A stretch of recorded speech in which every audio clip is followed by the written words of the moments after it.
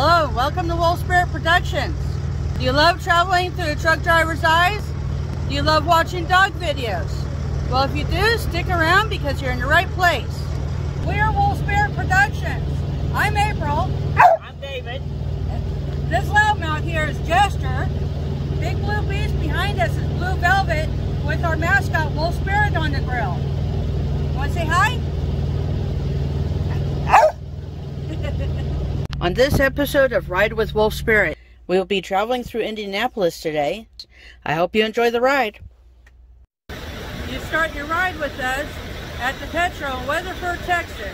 You start your ride with us at the Flying J on the west side of Knoxville, Tennessee. I wanted to show you something, Lake Pontchartrain Bridge. I want to introduce you to our mascot, Wolvespirit.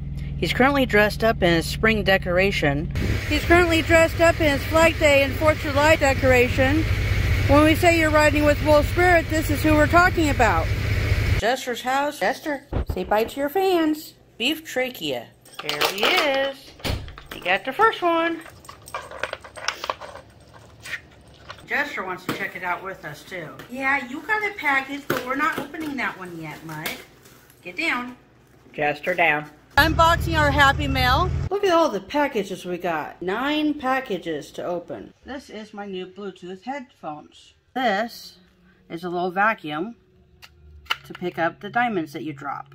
It is a diamond painting drill bit and our dog Jester is checking it out with us. the rest of this are different diamond painting kits. Light ring and it holds my phone. Impow, the diamond painting club.